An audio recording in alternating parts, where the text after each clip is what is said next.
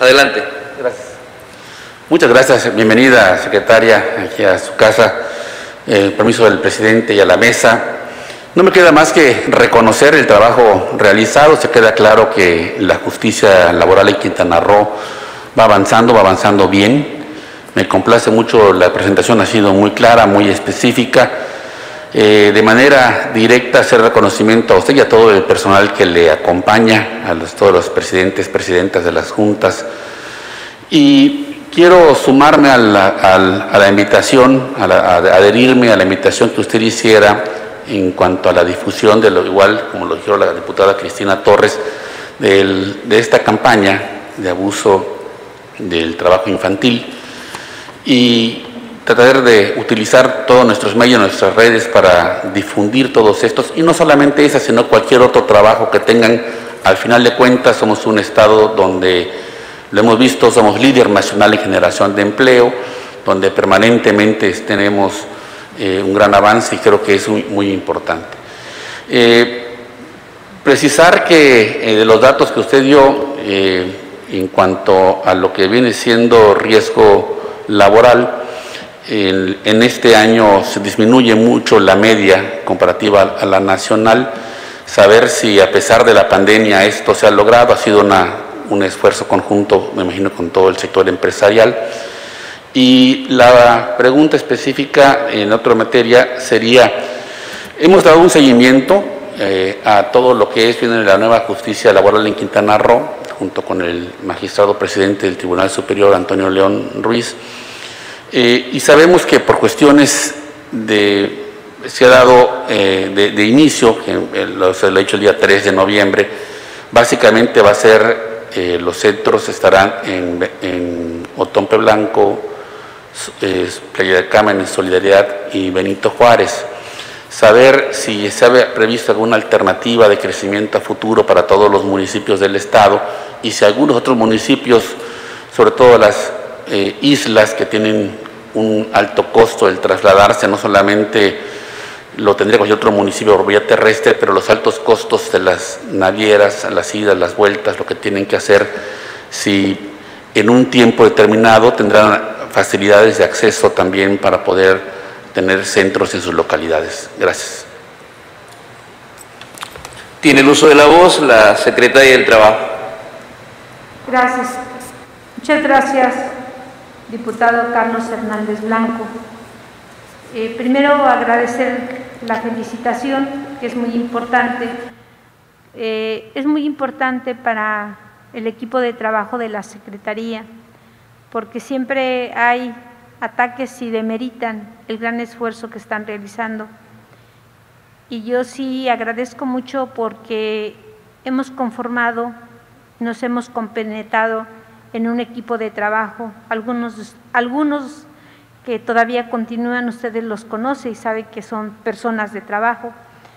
Y sí es importante que ellos sepan que su trabajo se está viendo. Muchas gracias.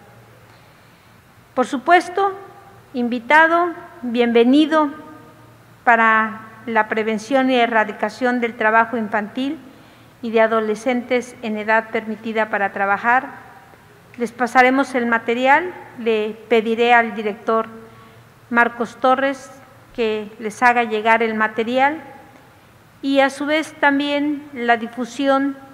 Necesitamos difundir en qué consiste este nuevo sistema de justicia laboral en Quintana Roo y ahora dónde van a acudir los trabajadores o los patrones para dirimir las controversias, que es muy importante.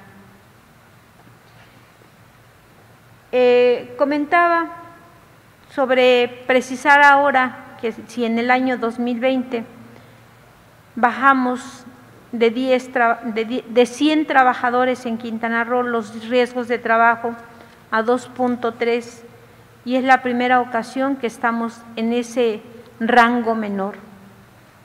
Sí ha habido mucha apertura y este es un trabajo también del señor gobernador Carlos Joaquín en qué sentido. A pesar de estar en la pandemia y que estuvimos en semáforo rojo, hemos evolucionado, mucho tiempo estuvimos en semáforo naranja ahorita en semáforo amarillo, aunque la federación nos considere en verde, ¿no? Continuamos en, en amarillo sin bajar los brazos y continuar con todas las medidas sanitarias. Tuvimos reuniones los sectores correspondientes con todo el sector empresarial productivo, con los sindicatos, para recalcar, y sobre todo esta comisión consultiva estatal, hacer esa sensibilización. Eh, el hecho de que haya bajado es también concientizar a, los patrones de que es una inversión fundamental proteger a sus trabajadores, darles las herramientas, el equipo adecuado para que desempeñen sus funciones.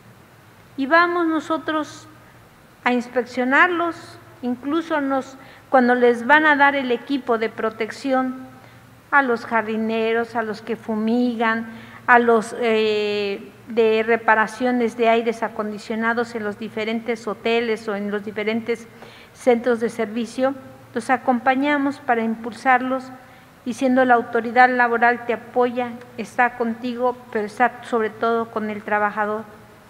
Entonces, este es un trabajo de equipo, un trabajo donde está involucrado todos los sectores productivos y, por supuesto, ha impulsado el gobierno del Estado a través de esta Comisión Consultiva Estatal de Seguridad y Salud. Es por eso que hemos disminuido y también han entendido los patrones que la disminución de riesgos de enfermedades y de accidentes de trabajo les conlleva que paguen menos en su prima de riesgos ante el Instituto Mexicano del Seguro Social.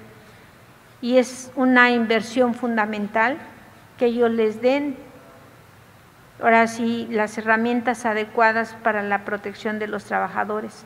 Y les sale, ahora sí como dices, más barato invertir en, este, en, tener trabajadores sanos que y disminuye su riesgo laboral. A mayores accidentes y riesgos laborales, mayores primas e independientemente de los procedimientos sancionadores a que sean sometidos. ¿no? Eso sí le puedo comentar. Y eh, usted comenta que ha estado muy de cerca, qué bueno, dentro del nuevo sistema de justicia laboral en Quintana Roo, y pregunta si hay, por supuesto, la intención de aperturar nuevos centros de conciliación laboral. Claro que sí. Eh, tenemos contemplado para el año 2022 tocar un artículo, un capítulo de la reforma de la Ley Federal del Trabajo del primero de mayo del año 2019, donde nos da la oportunidad de la itinerancia. Entonces podemos fijar la itinerancia en los municipios, en las islas, por ejemplo, para evitar ese cruces y ese costo como lo hacemos con la itinerancia de las Procuradurías de la Defensa del Trabajo. Esta itinerancia que incluso se las da a los tribunales laborales. Entonces, estamos en vías de que para el año 2022 destinemos un presupuesto para tener ya conformados los 219 personal que integran estos tres centros y también poderlos comisionar a la itinerancia en determinados días para atender los conflictos laborales que surjan entre patrón y trabajador. Ese es por el momento. Eh, es importante también la zona maya, o sea, no olvidar. Hasta es conveniente tener hasta un traductor dentro de estos centros y lo tenemos contemplado. Ojalá este último año de gobierno nos dé tiempo dejarlo, si no por lo menos yo les pido a ustedes la coadyuvancia para que dejemos las bases y dejamos esta itinerancia y podamos atender a toda la población y a todos y cada uno de los municipios. Muchas gracias.